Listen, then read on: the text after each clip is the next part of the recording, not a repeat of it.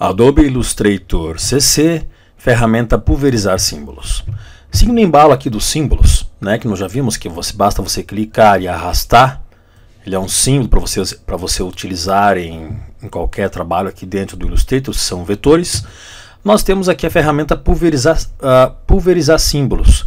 Ou seja, quando você quer várias, ah, eu quero fazer uma composição aqui, várias flores, né, uma lado da outra, sei o que, ó, para ficar bonitinho, né, eu quero aqui, ó, ah, vamos pegar aqui natureza. Não quero fazer um, uma vegetação rasteira com várias com gramado, com grama. Tem que colocar uma aqui.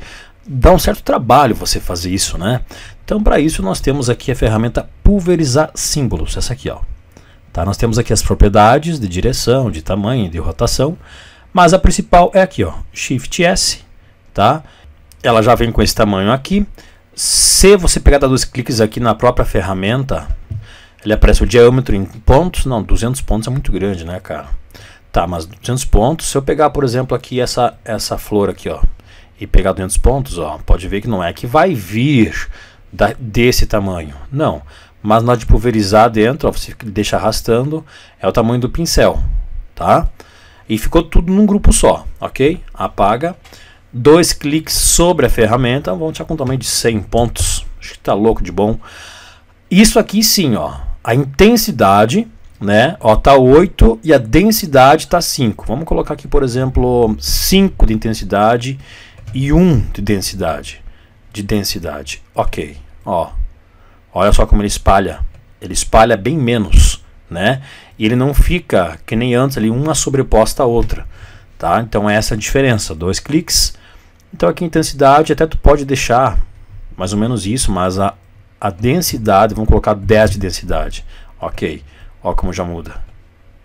Ó, tá vendo aqui, ó? Ó, se deixar pressionado, ó, ele vai deixando tudo agrupado, não era que nem antes que era tudo separadinho. Tá? Então, dois cliques, você escolhe aqui. Uh, antes de vermos as próprias as próximas ferramentas, vamos fazer um teste com a grama, com esse com essa com essa graminha aqui, ó, tá selecionada, né? Ó, Deixa pressionado, clica, clica, clica, clica, clica. Olha como fica mais fácil. Nós temos várias aqui agrupadas. Dois cliques. Vamos colocar mais, vamos colocar aqui 10 de intensidade e 20 de densidade. Olha, olha agora. E se você não arrastar, ele vai ficar pintando, ó, tá? É um spray, na verdade, né? Olha, é que nem nós abrirmos ali o jato do spray, esse de mão. Então olha a diferença tá? Então é aí que você consegue dar o detalhe de você trabalhar. Vou pegar agora essa, de novo essa florzinha aqui, ó. Tá vendo, ó? Essa é a diferença, olha. Cara, ali fica meio estranho, né? A flor, porque ela fica sobreposta uma à outra. Para a flor já não serviria, né? Pra, mas para outros itens, sim. Ah, vamos fazer um caminho aqui, vamos fazer um caminho aqui de, de formigas, ó. Olha que legal. Vendo? Então é essa ferramenta spray a ferramenta uh, spray de símbolos, tá?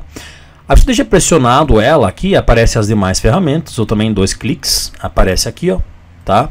Aí nós temos, deixa eu, deixa eu primeiro fazer aqui um, vou fazer um spray aqui com umas, algumas, tá? Até vou pegar uma aqui, tá bom.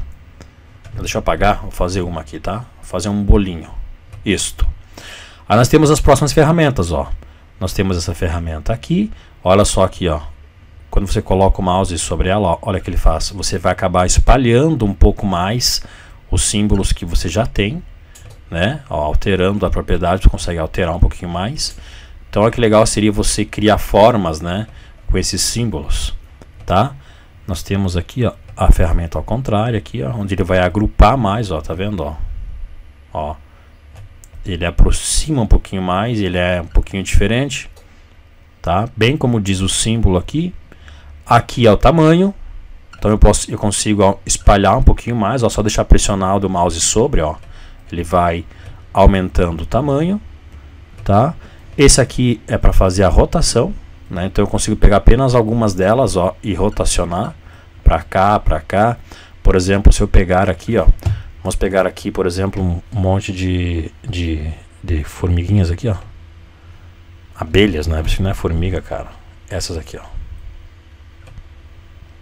muita intensidade. Deixa eu deixar aqui menos. Uh, intensidade 5. Ok. Olha só. Ou seja, cada vez que você clica e solta, vai 5, né? Agora vamos pegar essa ferramenta aqui, ó. Olha. Vendo? Então eu posso pegar apenas uma delas, né? E mudar o ângulo. É para isso que serve. Vendo? Ó.